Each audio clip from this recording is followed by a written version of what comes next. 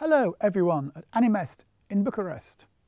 My name's David Sproxton and I started Aardman almost 40 years ago with my friend Peter Lord.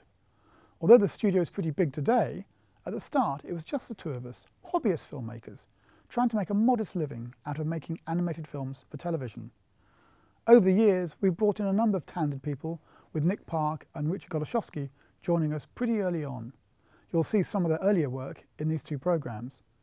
As you probably know, Nick's gone on to great things and Richard is currently directing our Shaun the Sheep feature film.